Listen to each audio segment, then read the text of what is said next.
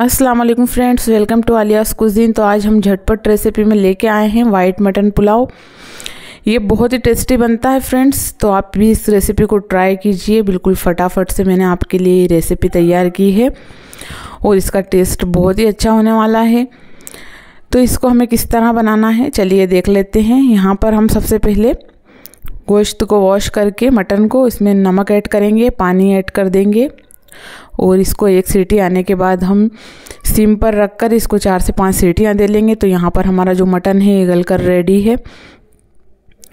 Oil गर्म होने के लिए रख देंगे। प्रेशर कुकर में इसमें प्याज ऐड कर देंगे। जैसे ही प्याज ब्राउन हो जाती है, आधी प्याज हम उठा लेंगे ऊपर से गार्निशिंग के लिए। इसमें सभी साबुत मसाले ऐड कर देंगे हम यहाँ पर। इसके साथ ही हम जिंजर गार्लिक पेस्ट ऐड करेंगे।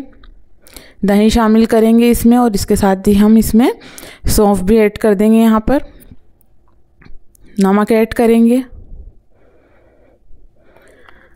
पुदीना पत्ती इसमें ऐड कर देंगे हम। और इसके साथ ही हम हरी मिर्चियाँ भी यहाँ पर ऐड कर देंगे। अच्छे से भून लेते हैं हम मसाले को।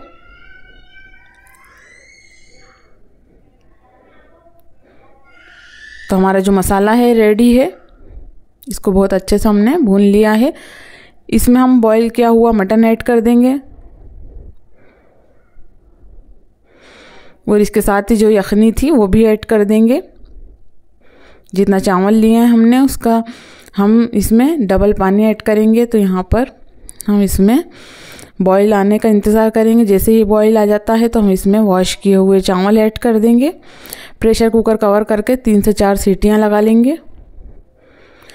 तो यहाँ पर हमारा ज़बरदस्त सा वाइट मटन पुलाव बनकर रेडी है। इसको एंजॉय कीजिए। रेसिपी पसंद आई हो तो लाइक शेयर चैनल को सब्सक्राइब करना ना भूलें। अल्लाह हाफिज़।